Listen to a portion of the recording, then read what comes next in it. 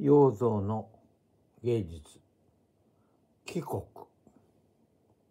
帰国収集の夕べ。山が落日くれないなり。古中な普及。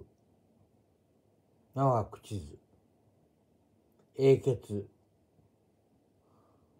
構想にあり。これは古戦場の歌である。帰国というのは鬼がなく。木は死んだ人の魂を表す。国は大声を上げて泣く。死んだ人の魂が大声を上げて泣く。帰国収集の夕べ。収集とは泣き声のことを言う。死んだ人が大声を上げて泣く夕べ。これは戦場で恨みが残って泣いているんですね。山が落日くれないなり、山や川に日が落ちて真っ赤である。古中名は口図。一人尽くした忠義の名は朽ちることがない。英傑英雄は構想荒れ果てた草むらに眠っているあり。そういう意味である。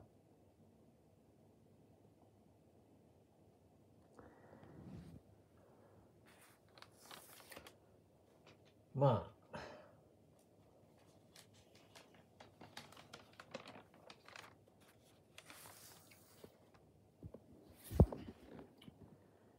やか芳これは野の花。香ると書いている。野の花が芳し。香りがいいという意味である。ことをすべて夢のごとく。収集たる。古戦場九千呼べども答えず。限りなくやかかんばし。これは、孤島というのは虎の戦いと書いて、まあ、激しい戦い。すべて夢のごとし。もう過去のことで全て夢のごとくなってしまった。収集たる古戦場。これは死んだ人の泣き声が聞こえる古戦場。九千、あの世。は読んでも答えない。限りなく野の花が芳し、矢か芳し。これも古戦場の歌である。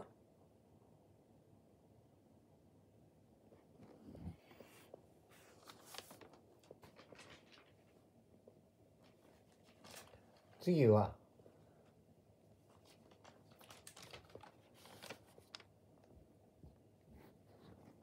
将来。これは松の間を風が通り過ぎていく。その風、そのあるいは音を言う。将来のする白雲の下で悠々と酒をいっぱい楽しむ。将来白雲のもと、悠々酒いっぱい。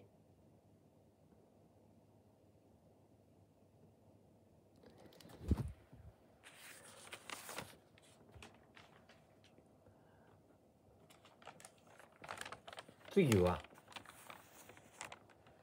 風縁風縁というのはあもや。もやのことである。あるいはもやのような煙のを言うている。風縁風の煙。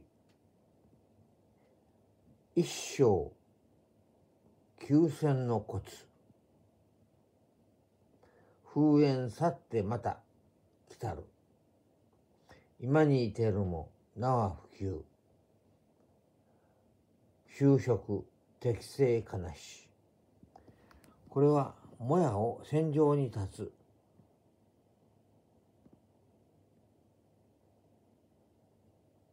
もやを言っている。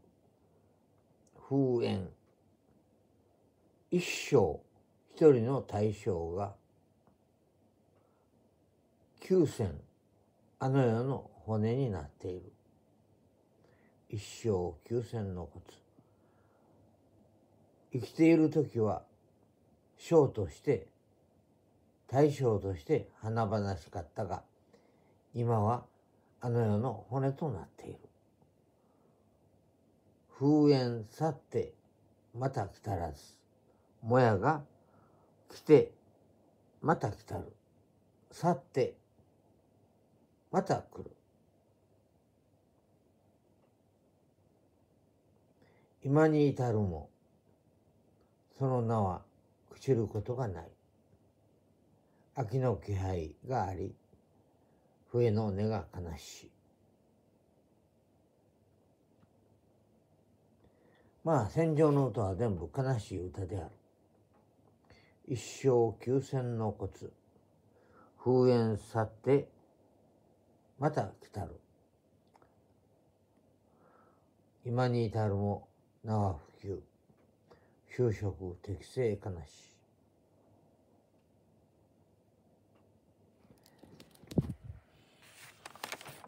次。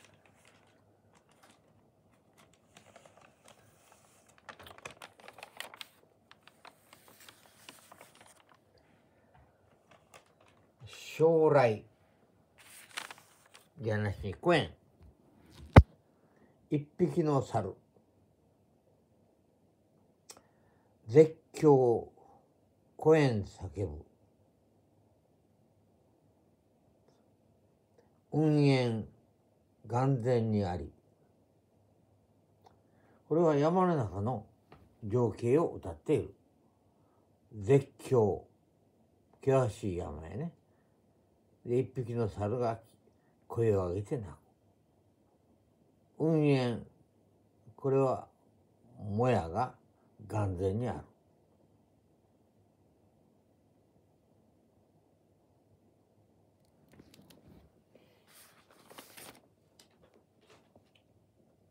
次。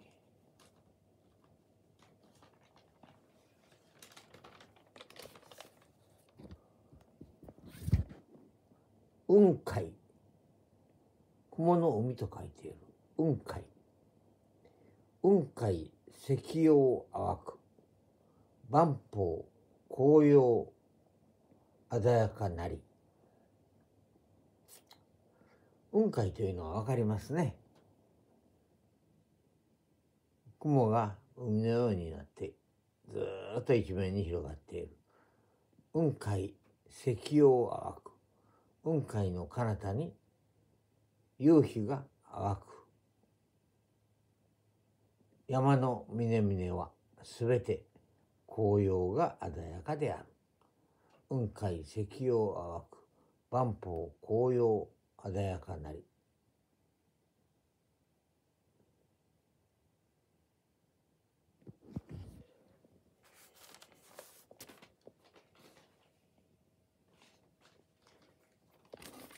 次は。牡山青しくれる山が青いと書いてある。牡山青し万山小生。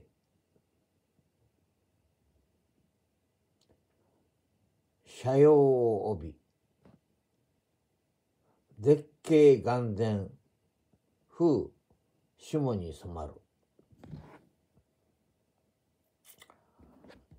山は全部山全部に小生の音がする。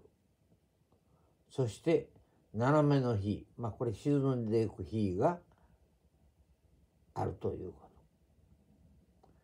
絶景は眼前にあり風これはもみじのような紅葉する樹木が霜に染む。霜に染むというのは赤くなっているということである。この母山青しと書いている。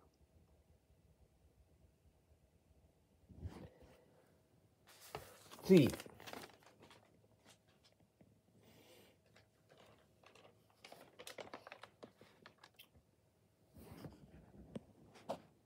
風爽やか風爽やか。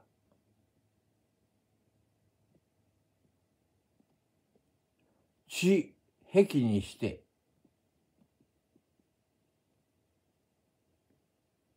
人族なし。地壁というのは僻地のことやね。その土地は僻地で人族人は地理族は族っぽい。ないいうことはもういわゆる正常の地であるということを言うている。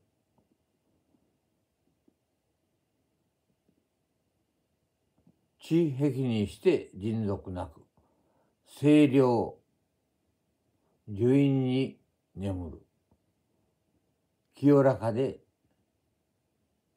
涼しい樹院に眠る悠々風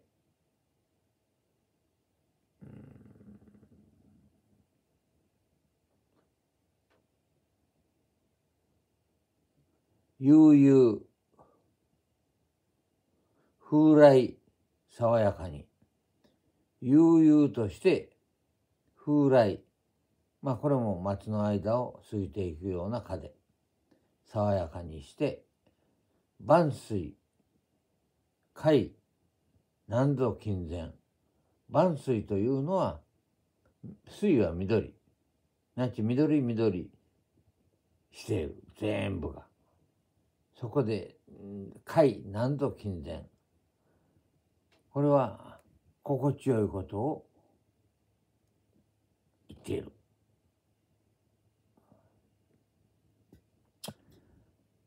地壁にして人族なく清涼樹院に眠る悠々風来爽やかに。万水海南ぞ金前。と書いてある。ここで風爽やかという字はね。難しい。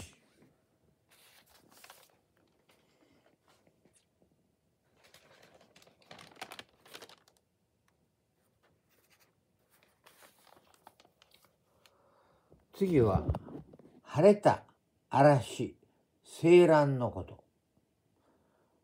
青蘭というのは山で感じるようなあの晴れた日の山で感じるような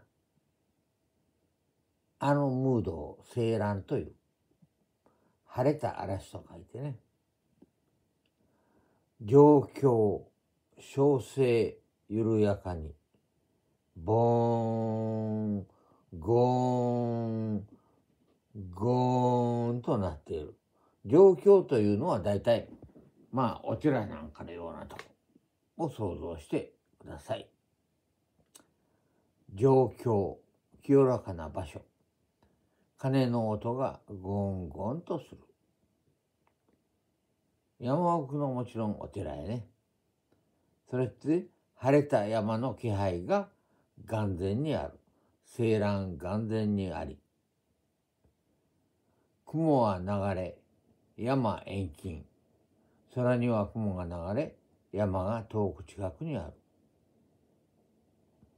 る。で、人日。人日というのは火尽きると書いているが、一日、人縁。人は汚れた、まあ、塵やな、悪態やな。との縁を洗う。なち一日、まあ、心を清らかに保つという意味で、俗世間と縁を断つという意味である。一水百楽。魚。ちょっと飲んで気持ちが良くなっている魚という意味。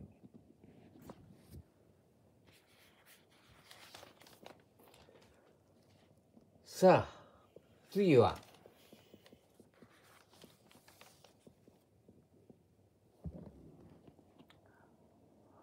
山書いて下に風。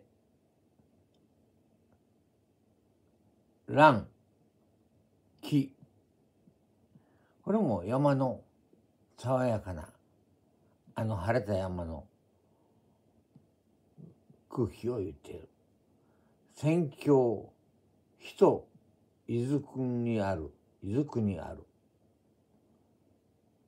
来たり遊べば、乱気流る。これ、乱気。宣教、まあ千人の住むような山奥が宣教。宣教、人、伊豆君にある。なち人がいないようで。来たりて遊べば、来て遊んでみると、山の空気がいっぱいである。乱気流る。というふうな意味である。まあ非常に難しいこと言うて書を書いているんで、どれだけ理解していただけるか。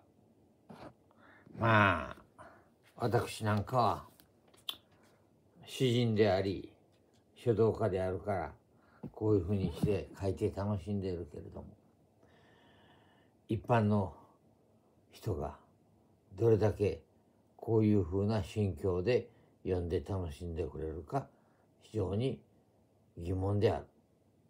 そういう意味では悲しいけれど、それが現実であろうと思っている。その証拠に私が YouTube でご紹介しても、こういうふうなことを読んでくれている人は非常に少ない。それがもう現代の世である。私が古いのかもわからない。と思っている。